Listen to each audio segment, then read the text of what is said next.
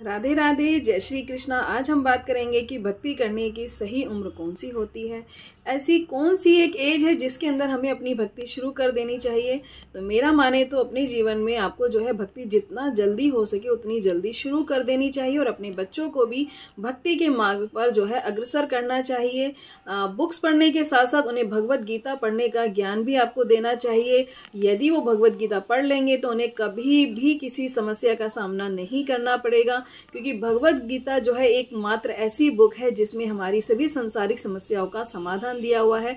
और साथ ही साथ भक्ति ही एक ऐसा साधन है जो आपको जो है बुरा सुनने से, बुरा देखने से और बुरा बोलने से हर राह में जो है बचाती है। तो जितना जल्दी हो सके अपने जीवन में भक्ति को अपनाएँ और और लोगों को भी भक्ति में जो है आगे बढ़ने के लिए प्रोत्साहित करें। और एक चीज़ का जवाब आप सभी मुझे कमेंट बॉक्स में ज़रूर देना, क्या आप बासी फूल भगवान को चढ़ाते हैं? यानी अगर आपके पास घर में बासी फूल है तो क्या आप उसको भगवान को चढ़ाते हैं?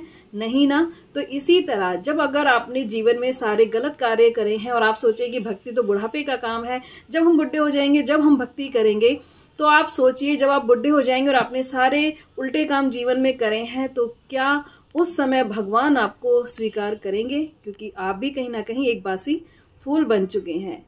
राधे राधे, जय श्री कृष्णा।